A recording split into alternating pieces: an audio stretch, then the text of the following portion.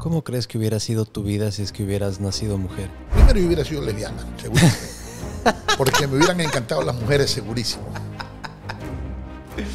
No, yo creo que hubiera sido una revolucionaria con mi hermana Marta, una feminista que defendía los derechos de las mujeres, de las negras, de las indias, pero nada que ver con el feminismo actual. Es una basura, es un negocio. Eso me molesta del comunismo, porque yo he sido rojo, soy socialista, me molesta que toda la agenda del socialismo para las mujeres y para los hombres, para los niños, es de la cintura para abajo. Todos lo sexualizan.